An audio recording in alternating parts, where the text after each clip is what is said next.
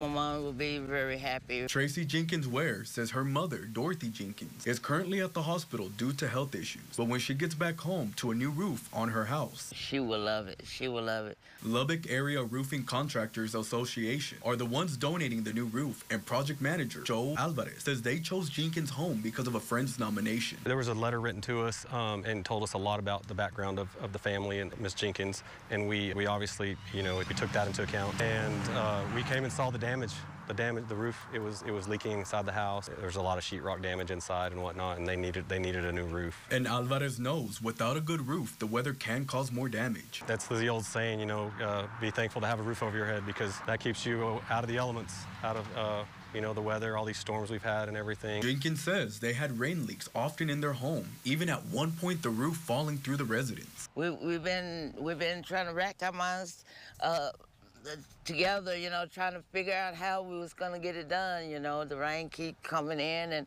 and uh, the ceiling fell down. Thanks to LARCA, the Jenkins don't have to worry about the roof any longer. It's going to keep them dry and protected, um, but it also makes the house look prettier. I feel that God really was listening to our prayers, you know, and heard all of our prayers. God made a way, so that's, I'm grateful.